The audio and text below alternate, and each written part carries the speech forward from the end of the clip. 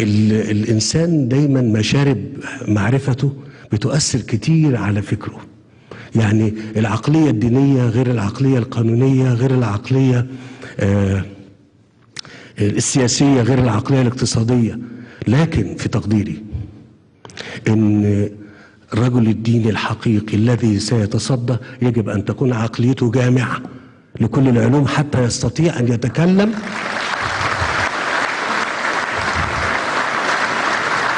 وفكروا في الكلام ده كويس. أنا لما أجي أكلم أي حد من اللي دارس دين بس هيكلمني في في سياق واحد. وده مش غلط. ده مش غلط. ولما أجي أكلم القانونيين هيكلمني في سياق قانوني واحد. وده برضه مش غلط. والاقتصادي زيه والاجتماعي زيه. لكن الذي سيتصدى كمفكر لمعالجة قضايا عصره من منظور ديني لابد أن يكون ذو عقلية جامعة. دارس كل ال- وده موضوع صعب.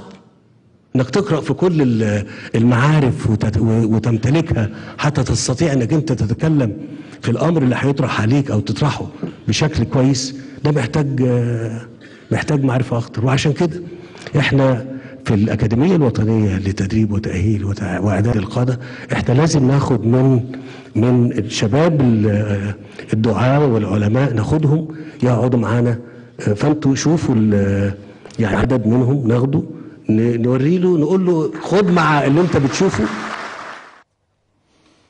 آه، هنا كلام على المستوى النظري وعلى المستوى العملي. على المستوى النظري آه، في حالة مكاشفة إنه رجل الدعوة فعليا لازم يبقى متصل ومتواصل ومطلع وعارف بالعلوم المختلفة في الحياة.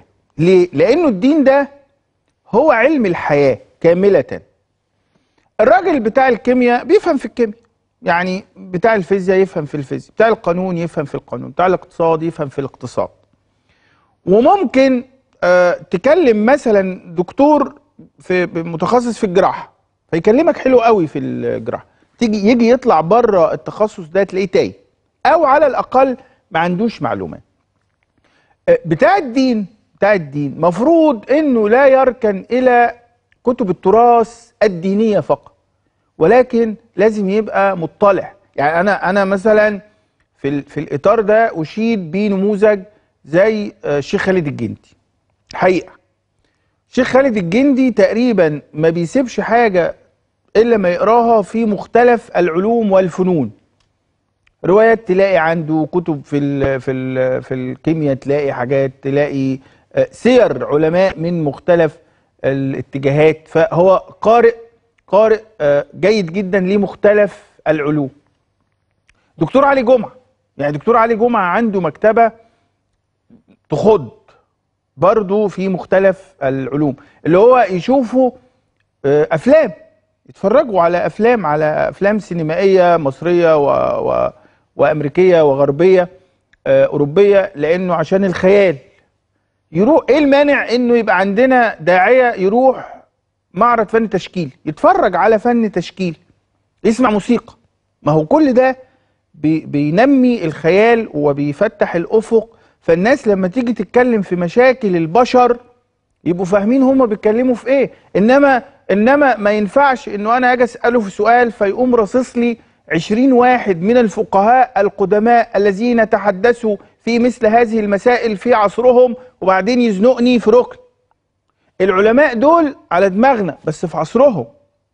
يعني واحد في القرن الثالث في القرن الثاني في القرن الأول في القرن الخامس في القرن السادس اجتهد في المسائل اللي كانت في عصره. ده راجل اجله واحترمه وأقدره لأنه عالم. بس إمتى؟ هناك. هنا أنا أتعامل معاه كتاريخ لأن أنا محتاج عندي مشاكل وعندي قضايا هنا آه، كتيرة جدا ملحة عايز أتكلم فيها عايز أشوف أحوال الناس وأوضاعهم علاقة الناس. الناس تجتهد قوي في الاحتكار. الناس بتوع الاحتكار دول اللي بيحتكروا السلع وبيجوعوا الناس. ما هو ده دي قضية ملحة. مثلا فاذا اذا العقلية الدعوية مفروض أن تكون عقلية منفتحة تماما.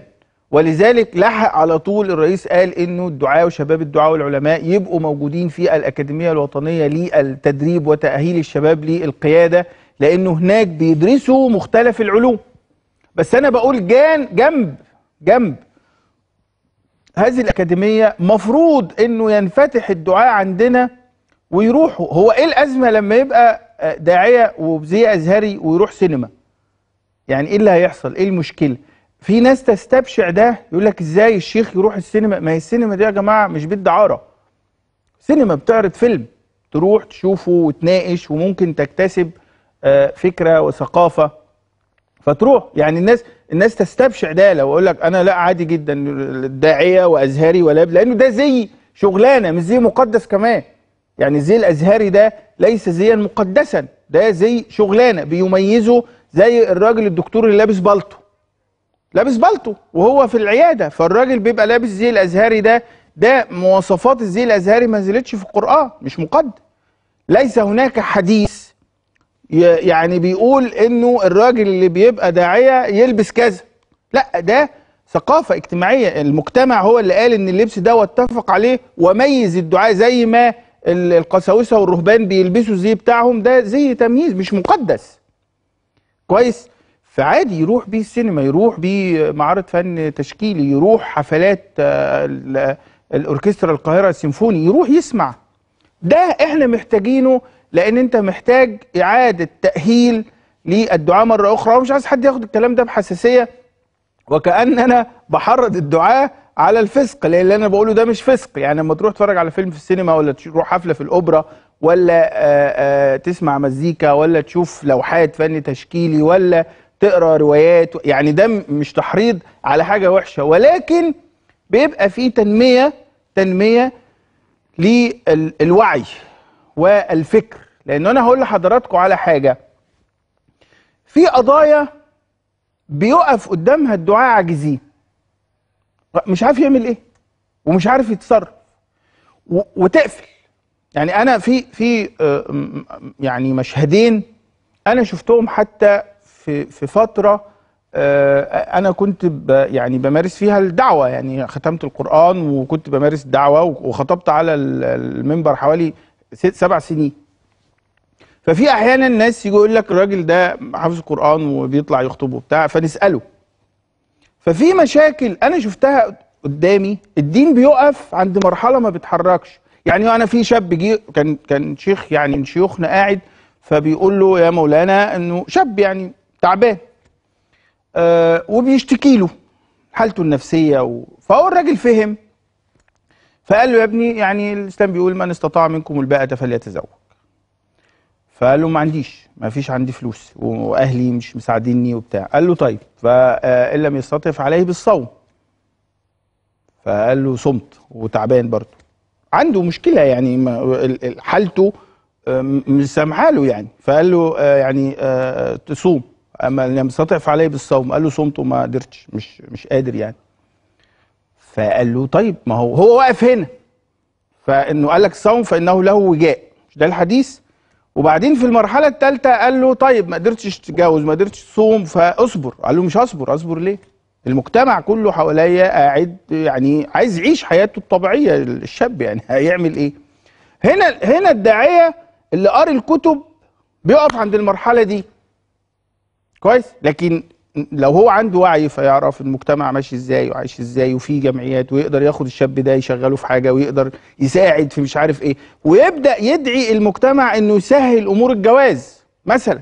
يعني الدعاه ساكتين ليه على حالة المغالاة في اللي الناس بتتجوز فتلاقي عشان شاب لسه طالع فعشان يتجوز مثلا محتاج له 300 400 ألف جنيه. يجيبهم منين؟ فهنا دور. على سبيل المثال.